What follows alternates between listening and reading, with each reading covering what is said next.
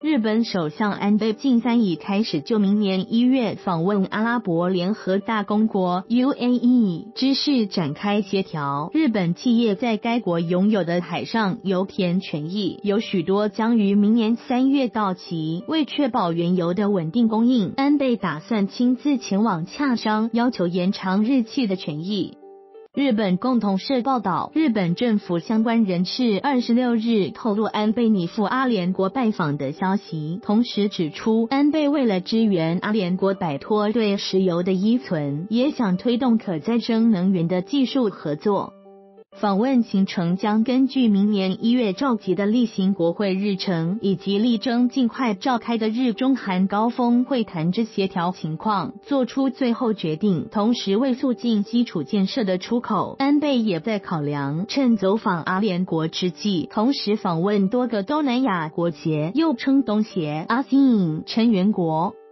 报道指出，所谓油田权益是指产油国给予石油开发企业的开采、生产、销售等权利。阿联首都阿布达比近海有许多由日本企业自主开采并拥有权益的油田。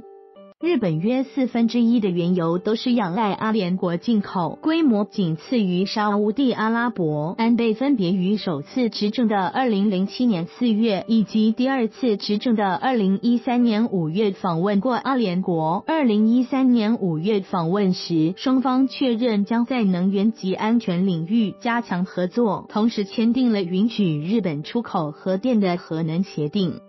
明年安倍的访问不仅将协商有关双方能源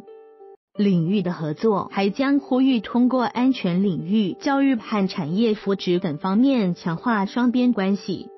国际再生能源机构 （ENA） 大会及相关国际商品展销会明年一月中旬将在阿布达比举行。日本政府为展现日本的技术实力以及在福岛县推进氢能源生产的构想，正在协调派外务大臣和野太郎出席之事宜。